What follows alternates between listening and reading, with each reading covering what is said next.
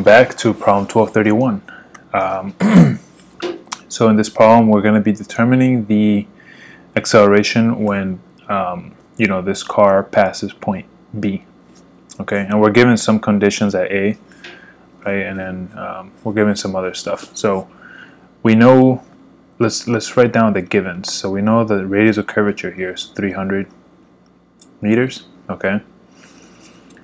What is I guess let's do this after. Um, what else? We we have the speed at position A is 25 meters per second. Okay, what else do we know? We know acceleration or tangential acceleration is minus 0.001 s. Okay, this is key. Whenever they give you an acceleration or velocity with respect to uh, some spatial coordinate, we should be thinking chain rule, right? So right here, um, we should, or before the chain rule, I guess, let's find what the, the tangential acceleration is at point B, right? So in order to do that, we need to know what S is at point B, right?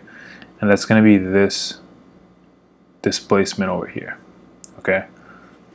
So if you're kind of confused with how to calculate that, right? We know it's S equals R theta, right? Some radial displacement. I guess not radial. Um, I guess it's like it's angular displacement maybe. But uh, let's let's do this. So we know that radius is going to be 300 meters, right? So what's going to be theta, right? When we think about this, just think back what the circumference of a circle is. Circumference of a circle is 2 pi r. Okay, and why is it 2 pi? Because you go around the entire circle, right? In this case, we're doing a quarter circle, right? So we're doing a pi over 2, right? Because 180 is pi, 90 degrees is going to be pi over 2, all right? So this is one this is one form that you can kind of remember how to calculate that. Just think back of think back on the um, uh, the circumference of a circle equation all right. Um, so this gives me 150 pi. All right. So if I want to calculate the tangential tangential acceleration at point B we're just gonna do that. We're gonna plug it in here right? Because they already give me the equation with, with respect to position. Pi. Right. And then when I plug this in to my calculator you should get minus 0.47 meters per second squared. Or, you know, it might be like radians per second squared, but we know it's um it's gonna be meters per second squared. Alright. Um, okay, so we have one slice of this, right? Because we're trying to get at squared plus an squared. Alright. Now if you think you know how to proceed, pause the video and try to do it yourself. If not, let's keep going.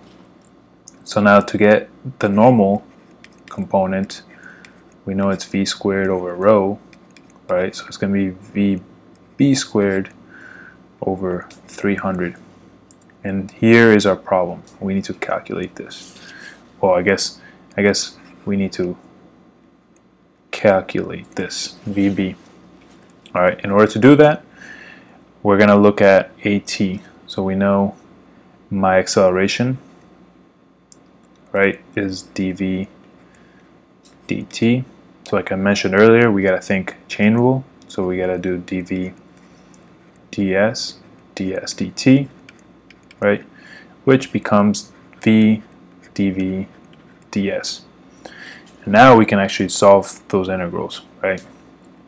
We know acceleration is minus 0.001 s equals v dv ds. And then when we solve this, this differential equation right let's let's look at the limits. So it's going to be from 0 to so the final displacement is at 150 pi. here it's going to be my velocity initially is at 25 meters per second and it ends at VB all right. So let's let's continue.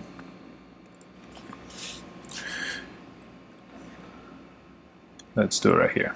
So this ends up becoming minus 0.001 s squared divided by 2 oh, oh yeah evaluated at 0 and 150 pi right? So I typically I you know I skip these steps because I assume you kind of know how to evaluate the integrals right? Um, if there's a lot of concerns or comments that you guys don't know how to do that I'll, I'll keep I'll, I'll begin doing that in the next videos. And then here I have v squared over 2 25 and VB alright. Kind of running out of room here so uh, once we expand this whole thing or once we evaluate everything we're gonna end up getting VB is 20.07-ish meters per second. Oof, cutting it closer. Alright, and this is crucial, right? This is key, this VB, because now we can go back to our AN equation, our normal component of velocity, or, or of, of acceleration, and plug it in, 0.07 squared. Okay, and then let's see, what does this give us? So we might have to plug it into the calculator. So let's do 20.07 20 20.07 divided by 300 all right and then we we get 1.34 meters per second squared. Okay? Now now here we have our you know our tangential acceleration or our tangential component of acceleration our normal component of acceleration and now we can just get the full acceleration, which it'll be 0.471 squared plus 1.34 squared. Okay. And remember, like I said, I usually don't put the negative in there just because it's gonna um, it's gonna get canceled out because you're gonna square it. All right, so let's do that. So